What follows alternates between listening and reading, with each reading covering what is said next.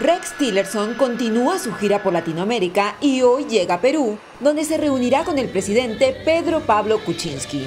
En esta reunión, el secretario de Estado busca preparar la cumbre de las Américas con el país andino e insistir en el tema de Venezuela, tal como lo hizo previamente en su paso por Argentina.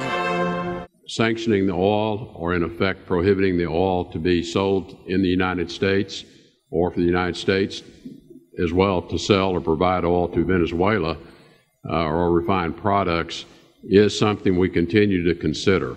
Previamente, Tillerson empezó su gira en México, donde temas como la migración, el muro fronterizo y la economía predominaron en la agenda bilateral. El secretario de Estado partirá mañana rumbo a Colombia, donde sostendrá una reunión con el presidente Juan Manuel Santos destacando asuntos como el aumento de los cultivos de coca en el país y la lucha contra el narcotráfico. Tillerson terminará su gira el próximo 7 de febrero en Jamaica.